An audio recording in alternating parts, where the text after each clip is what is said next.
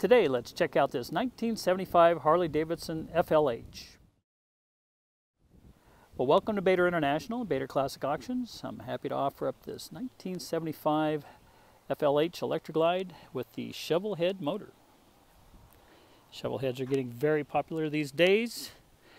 And this is a very nice candidate for a freshen up or if you wanted to take it back to stock or if you wanted to ride it just like it is. She looks very decent.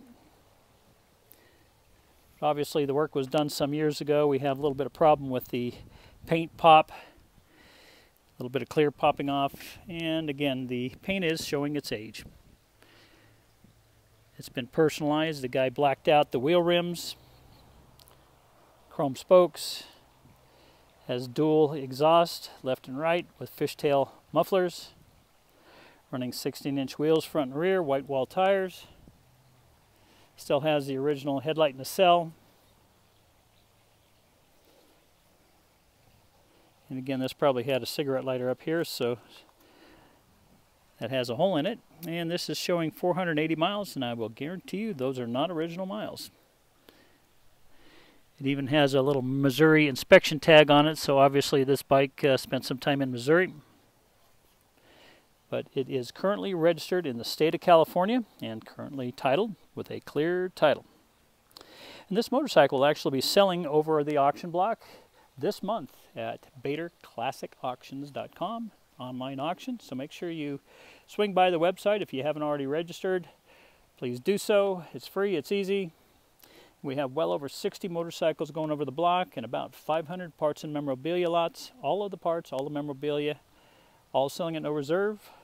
We even have some Jeff Decker bronzes, and those will have a reserve. We even have a number of the motorcycles selling with no reserve, so going to be some great deals. This bike has been maintained by the shop down in Mount Montalvo, California. It's been in a private collection for some time, so it has set a little bit. So it's going to take a little bit of, let's say, uh, freshening up before she's ready to uh, ready to go out and run. 1975 was a very good year. I've owned a number of them through the years. As a matter of fact, my very first Harley was a 75 FXE. I love that bike. Wish I still had it.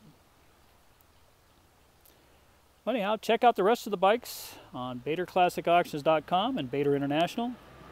Also, while you're up on YouTube, check out all the rest of our videos. We have well over 600 to date. And please subscribe. Thanks for watching. Hope you like what we have to offer and hope you like our videos.